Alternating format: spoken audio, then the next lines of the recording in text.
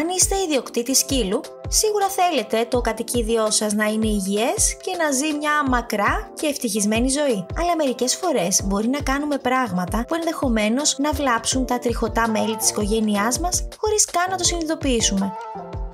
Οι σκύλοι έχουν περιέργεια, είναι περιπετειώδεις και συχνά συμπεριφέρονται σαν μικρά παιδιά. Γεγονός που μπορεί περιστασιακά να τους βάλει σε εμπελάδες.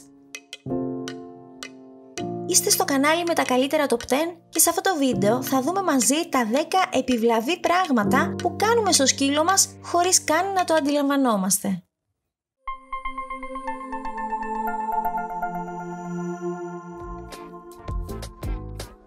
επιλέγουμε το λάθος κολάρο.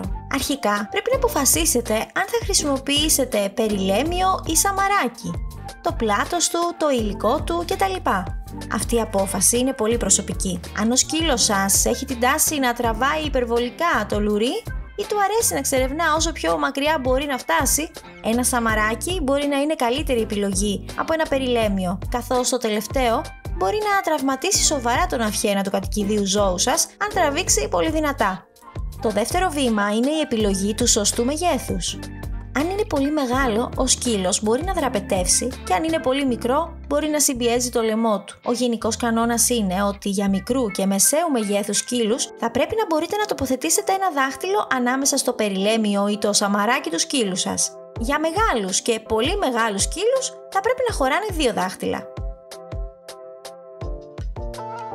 Αλλά ένα λάθος που κάνουμε με τη φροντίδα του σκύλου μας είναι ότι παραμελούμε τα δόντια του. Όλοι γνωρίζουμε ότι οι σκύλοι έχουν δόντια. Λοιπόν, αυτά τα δόντια πρέπει να βουρτσίζονται όπως ακριβώς και τα δικά μας. Σοβαρά τώρα, δεν αστείευομαι. Θα πρέπει να αρχίσετε να το κάνετε αμέσως μόλις αποκτήσετε το κουτάβι σας, ώστε να το συνηθίσει. Κάποιοι ιδιοκτήτες πιστεύουν ότι το να δίνουν στα σκυλιά τους αυτά τα μασιτικά παιχνίδια μπορεί να αντικαταστήσουν το τακτικό βούρτσισμα. Αλλά αυτό δεν είναι αλήθεια, αφού αυτά δεν καθαρίζουν τα δόντια όπως μια βούρτσα. Μην χρησιμοποιείτε την οδοντόκρεμα και την οδοντόβουρτσα ενός ανθρώπου. Η βούρτσα και η πάστα για σκύλους είναι εντελώς διαφορετικές και μπορείτε να τις προμηθευτείτε από τον κτηνίατρό σας. Ποτέ μην ταΐζετε το σκύλο σας με ανθρώπινο φαγητό. Είναι πολύ αλμυρό, πολύ πικάντικο και πολύ λιπαρό για αυτόν. Στην πραγματικότητα, πολλές από τις τροφές μας είναι πολύ επικίνδυνες ή ακόμα και τοξικές για τους σκύλους. Σίγουρα δεν πρέπει ποτέ να ταΐζουμε το κατοικίδιό μας με υπολείμματα από το τραπέζι όσο τρώμε. Αυτό διδάσκει στο σκύλο την ανεπιθύμητη συνήθεια της ζητιανιάς και τα σκυλιά μαθαίνουν απίστευτα καλά όταν πρόκειται για πράγματα που δεν επιτρέπεται να κάνουν.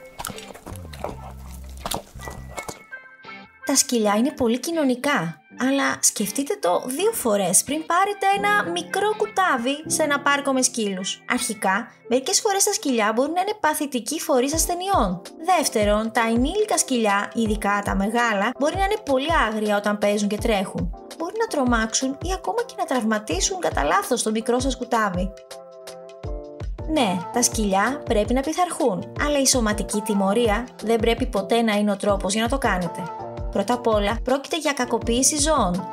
Δεύτερον, απλά δεν θα λειτουργήσει και το μόνο που θα πετύχετε είναι να βεβαιωθείτε ότι ο σκύλος σας σας φοβάται. Η εκπαίδευση με βάση την ανταμοιβή είναι πολύ πιο αποτελεσματική από τη σωματική πειθαρχία.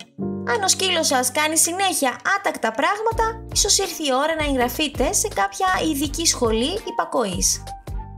Οι σκύλοι χρειάζονται συνεχή πνευματική και σωματική διέγερση. Το τακτικό περπάτημα πρέπει να γίνει μια υποχρεωτική δραστηριότητα της οικογένειάς σας και πρέπει να ληφθεί υπόψη πριν αποφασίσετε να αποκτήσετε σκύλο. Οι σκύλοι δεν χρειάζονται μόνο άσκηση, αλλά πρέπει επίσης να εκτίθενται σε διαφορετικούς ήχους και μυρωδιές. Αυτό κάνει τον εγκέφαλό τους να λειτουργεί καλύτερα. Αν τα σκυλιά δεν έχουν πολλά ερεθίσματα, μπορεί να αρχίσουν να κάνουν κάποιες άλλου είδους συμπεριφορές οι οποίες δεν θα σας αρέσουν καθόλου, όπως κάψιμο, μάσιμα ή να σκίζουν τα πάντα μέσα στο σπίτι σας.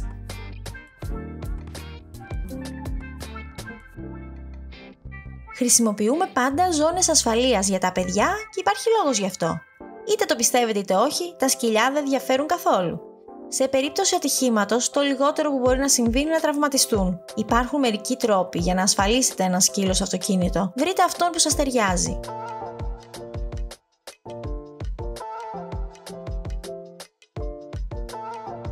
Οι σκύλοι είναι περιπετειώδεις και αυτό τους βάζει σε κάθε είδους μπελάδες.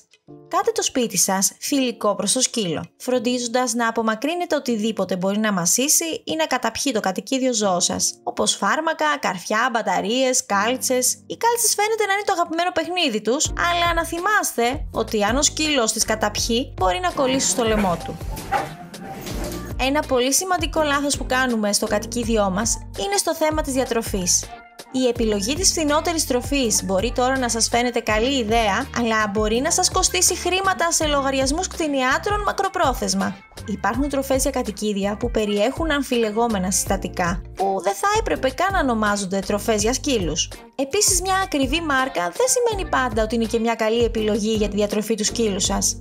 Σας μπέρδεψα μάλλον τώρα, αλλά σίγουρα χρειάζεται έρευνα και συζήτηση με τον κτηνίατρο για το ποια είναι η σωστή διατροφή για το σκύλο σας. Σίγουρα πρέπει να το προστατεύσετε από μια διατροφή χαμηλής ποιότητας. Τα σκυλιά μπορεί να κάνουν μερικά απίστευτα χαριτωμένα πράγματα όταν αφήνονται στην τύχη τους, ειδικά κάποιες έξυπνες ράτσες. Στην πραγματικότητα, αυτά τα καμώματα μπορεί να είναι ξεκαρδιστικά, αλλά όταν αφήνουμε το σκύλο μας να ξεφύγει με ανεπιθύμητες συμπεριφορές, ενισχύεται αυτή τη συμπεριφορά και νομίζουν ότι είναι εντάξει. Με τη συνεχή εκπαίδευση του σκύλου σας και την επιβράβευσή του για τη συμπεριφορά που θέλετε, θα πάτε πολύ μακριά για να έχετε ένα σκύλο που θα σέβεται την εκπαίδευσή του για όλη του τη ζωή. Εσείς τι πιστεύετε για όλα αυτά που είδαμε σε αυτό το βίντεο; Υπάρχει κάτι άλλο που πρέπει να προσέχουμε στη φροντίδα του κατοικιδίου μας; Πατήστε το like αν σας άρεσε αυτό το βίντεο. Κάντε εγγραφή στο κανάλι, πατήστε το καμπανάκι που είναι δίπλα από το κουμπί της εγγραφής για να μην χάνετε κανένα από τα επόμενα. Ευχαριστώ πολύ που παρακολουθήσατε. Θα τα πούμε την επόμενη φορά.